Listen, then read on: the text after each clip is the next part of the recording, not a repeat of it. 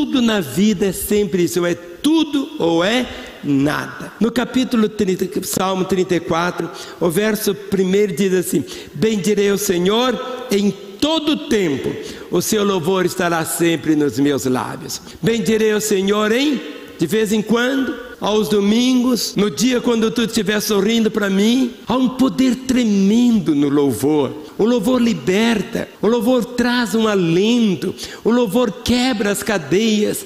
Bendirei o Senhor em todo o tempo. Mas, pastor, eu bem dizer a Deus no tempo da pandemia, sim. Se você está vivo até agora, por que você já não foi sepultado? Quantas pessoas já foram sepultadas? Por que você foi preservado? Eu não sei, mas eu sei que Deus continua tendo um plano para a sua vida. E você precisa ter essa esperança, essa certeza. Bendirei o Senhor em todo o tempo.